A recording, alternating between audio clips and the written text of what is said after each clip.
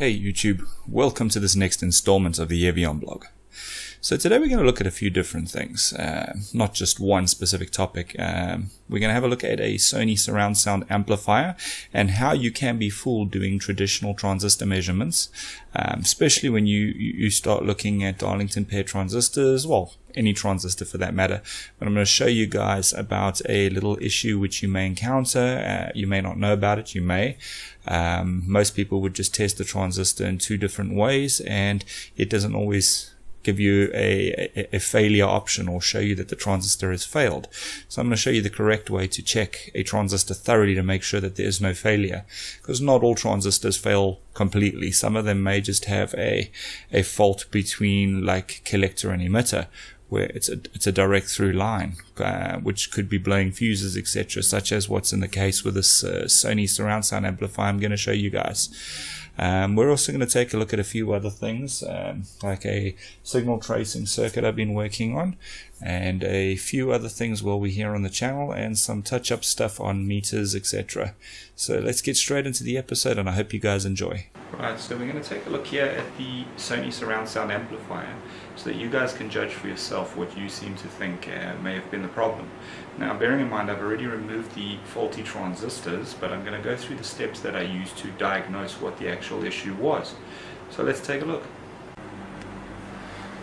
Okay, the first thing you do when you diagnose an amplifier is you try and find out what the actual fault was. In the case of this unit over here, there's two fuses uh, down on the secondary, or the main board I should call it, down here which kept fusing and blowing. So what that told me is generally there's a short circuit across the two power rails or these transistors uh, there's something gone wrong with them. Now there's a sub board up over here so I started off by checking the sub board removing the connection over here and then checking the current drain when I applied power um, through the, the fuse sockets but controlled obviously using a not this internal power supply but using my own um, bench power supply with current limiting then what I did is I discovered that it wasn't on this board, it was definitely on the main board. I went transistor to transistor. In the back of there you can see them, they go right across the heatsink. Uh, one at a time testing base to collector, base to emitter, and then swapping it around uh, on the NPN and PNPs, alternating.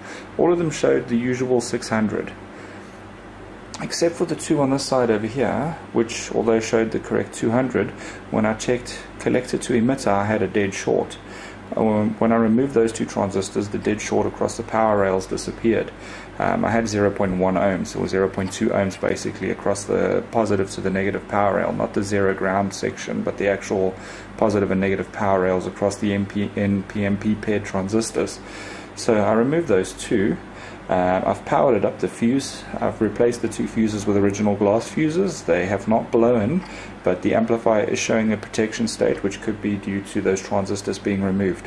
So what we're doing is we're going to go ahead and order those transistors then I'm going to show you guys us putting them in and um, when we get to that point uh, then you can see exactly uh, how we solder the new transistors and everything is still loose inside here. I've just kind of placed it in for testing and viewing purposes and um, now I'm going to show you guys on the bench the correct way to test a power transistor thoroughly. In fact, I'm not even going to use a fancy meter, I'm just going to use one of my cheaper UNI-T UT50B meters.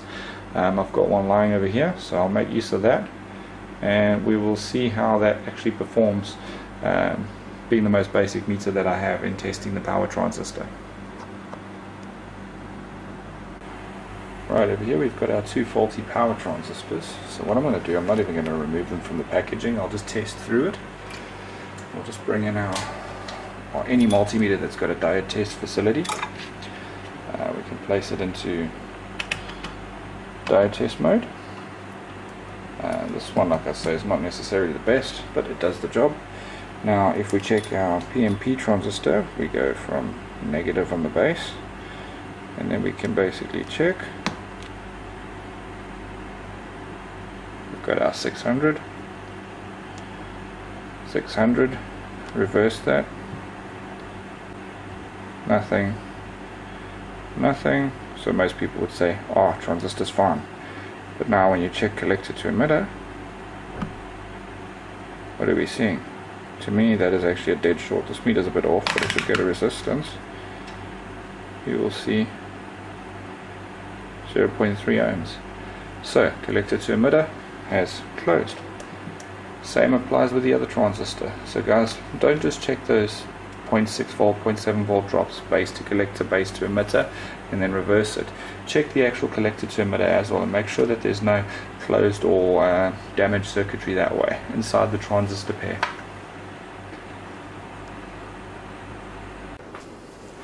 Okay, so what we've done over here now is we've um, actually gone and reassembled the amplifier um, with the two faulty transistors removed, these two here, um, just to make sure there's no other damage. Um, unfortunately, these amplifiers make use of this back plate for um, grounding, and therefore, if you don't go and um, install it when you're doing testing, you're not going to get any sort of audio through. So technically, the way it's working now is I've sorted out everything except for the center channel, which I'm about to uh, get some more transistors, Darlington pair transistors, to replace those. Um, I've checked the resistances um, on the uh, the the inline resistors. Everything seems to be in order. The, the, the collector resistors, the emitter resistors, everything is 100% in order in here. So, moment of truth. We're going to hook it up and see what happens. Okay, I've um, connected up the speaker lines, ensuring that there's no short circuits or anything like that here. Um, I've plugged in the RCA line over here. I'm going to get some audio and see what we get.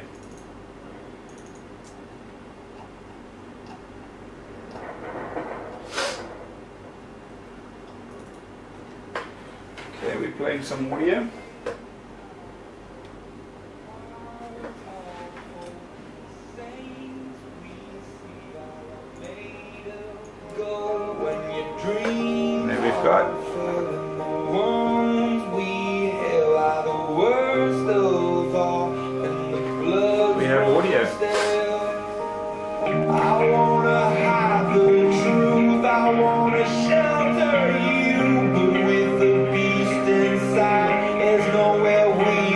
Now bearing in mind I don't have very big test speakers hooked up, I've just got small little uh, speakers uh, that I use for testing. This is my kingdom come. This is my kingdom come. Just gonna check for any heat up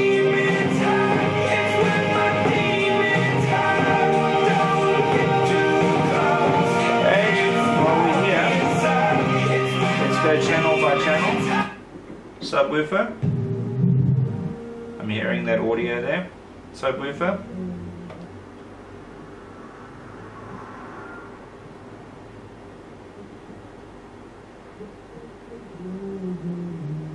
We've got audio there. Left channel, right channel, surround sound left, surround sound right, surround back left, back right. Okay, the sensor's not going to work. Let's just check these subwoofers again. Subwoofer outputs have, haven't got any high tone, it's purely bass.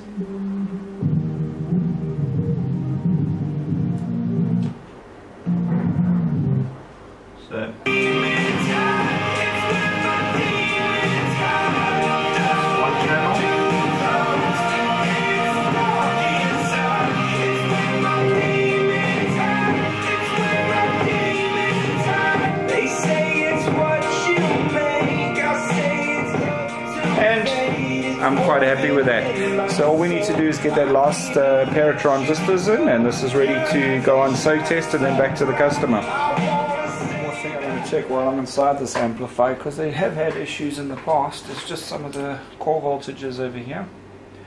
Um, so what I basically do there is I hook up a multimeter to a uh, ground point and then we can go ahead and check. Uh, 6 volts so expected about 6 volts here. 6.81 volts we should be getting 3.3 out. 3.289 that's 3.3 volts that's fine. We should be getting our 1.1 here which is one of our V cores for the CPU there you can see the 1.1 I hope. Uh, we should be getting 3.3 here. And uh, yeah everything's looking pretty good uh, 5 volts is there. So yeah everything's looking pretty good on the control board. Um, we should also be having 3.3 3.3 I'm just checking these voltages while we're in here to make sure that there's no protection circuit that's uh, not active or anything like that. And everything's looking pretty good so I'm happy with that just a few other things um, I'd like to go through while we've got this amplifier here on the bench. I'm going to go through testing a, a stage of a power amp like the Sony. Uh, fortunately with this one we've got a subboard over here with the surround left and the surround uh, rear left, uh, sorry, the surround rear left and surround rear right channels on it, but it's an exact copy of what's on the main board, just um, it's a subboard uh, giving us two pairs, uh, basically two channels. So what we're going to do is we're going to get a closer look and we're going to basically trace, um, I'm not, not even going to use the digital scope, I'm going to use the analog scope to show you guys tracing a 1 kilohertz tone being injected and we can see what we um, find as we go through the circuit to trace it. Let's get in there and see how we trace an audio circuit. If you look over here on the subboard you'll see we've got surround back left in, preamp ground, surround black right end, preamp ground. So that would be our four connections with the audio being carried from the selector circuit. Um, the rest of them are basically power, DC detect, and protection circuitry, which would, would, would, would basically output down to the protection circuit on the microcontroller. This then gets fed to the preamp. Preamp then feeds to the two pairs of transistors, um, which in turn outputs through the emitter resistors and then back down to the main board for the speakers. So we're going to basically go through that. I'm going to talk you through where I'm going to connect onto these channels here first trace through the transistor so you can actually see the amplitude increasing but you're going to be looking at it on the oscilloscope. So let's get a look see at that. Right there we've got our oscilloscope display. So the first thing I'm going to do is I'm going to inject our 1 kilohertz. That's now running inside the amplifier so what you do now is you get out your scope probe um, connect the negative terminal to ground and then we can start tracing. I'm going to go to 1 times and uh, let's see if we can pick up this 1 kilohertz. Um, we probably need to go down to about 50 millivolts per division. Uh, let's run it there. You can see it over there, but we're talking about less than 50 millivolts peak to peak coming in. So even take that down a little bit more. Let's go to 10 millivolts per division. There we have it. Let's uh, get this right. As you can see, it's a very, very, very, very small signal. Um, if we adjust our master volume, we can increase that. So what I'm going to do is I'm going to take it to about 60 which is about 75% of maximum. And if we do that let's just center the scope here. As you can see we've got it on 50 millivolts per division. So we've got about 500 millivolts peak to peak um, which sounds about right maybe a little bit more or less. Um, if we go into the digital scope we'll actually be able to see that. And that is on left in and if we go to right in we should see the same thing on those two inputs. Okay. So then those inputs then get traced through. They go through a capacitor circuit over here. Through the capacitor. Through a resistor. And then they get fed pretty much onto the input of the uh, pre-drivers on this thing. Then from the pre-driver the signal is fed out uh, onto the transistors. Let's just have a look see over here.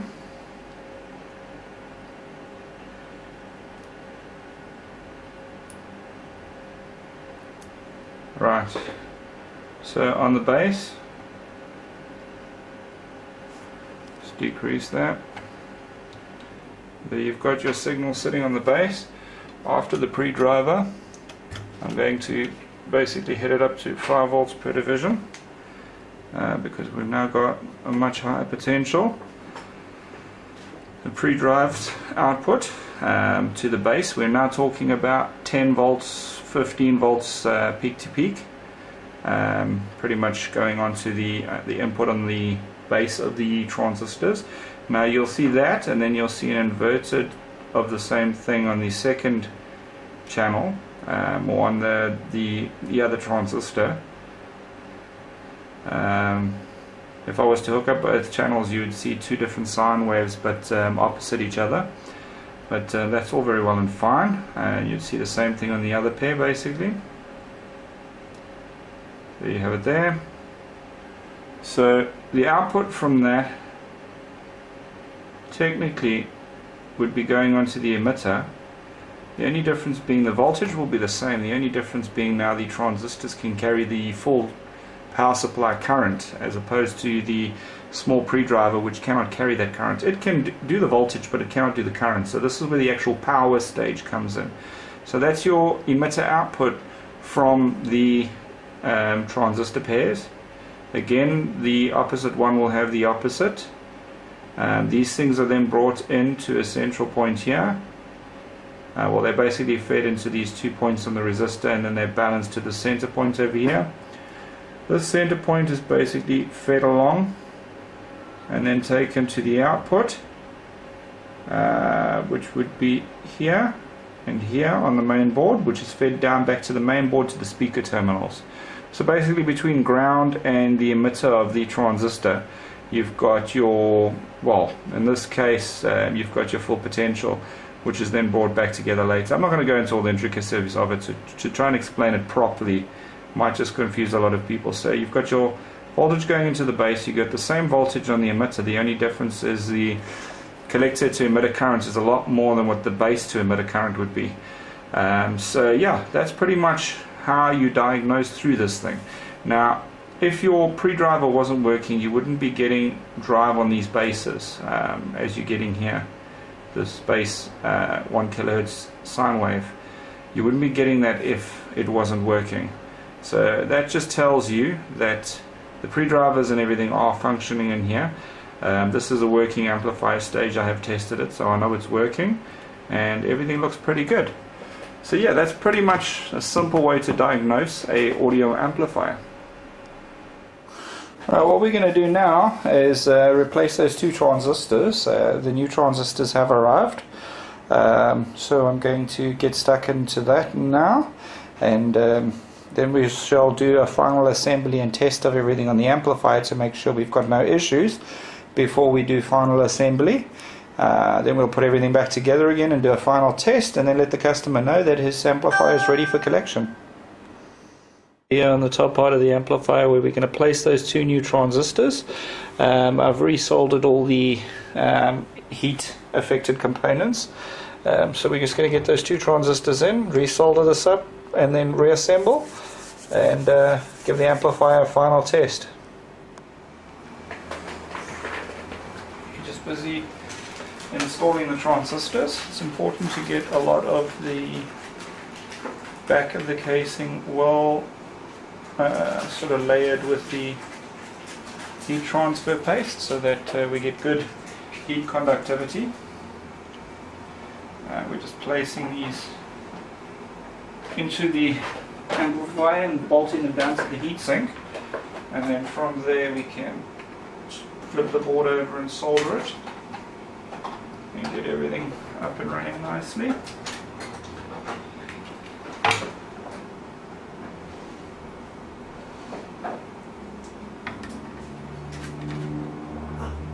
And there we go.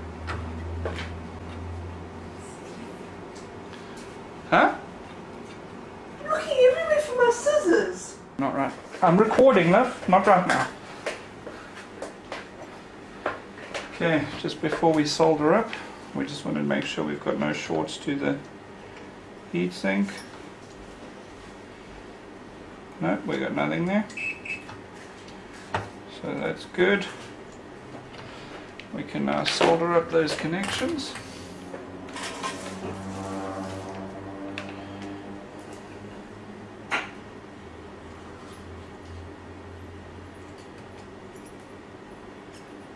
Going to flow a fair amount of solder in to make sure that it makes properly.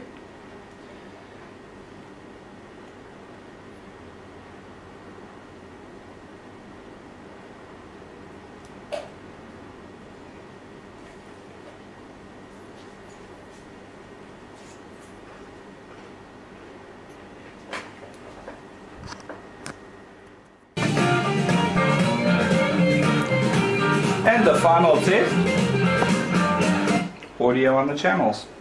Subwoofer. You can barely hear it probably on the camera, but it's there. Front left, front right, surround left, surround right, surround back left, surround back right, and center. So that's working well.